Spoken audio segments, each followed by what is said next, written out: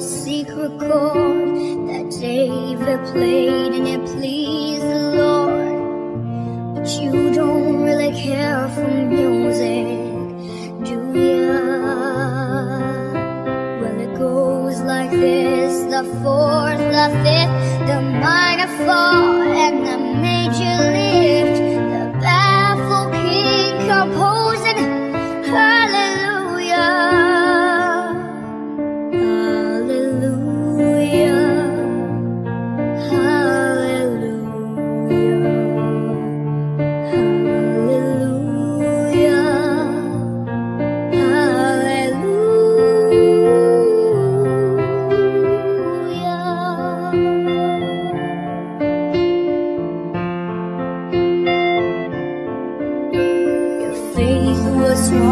Your faith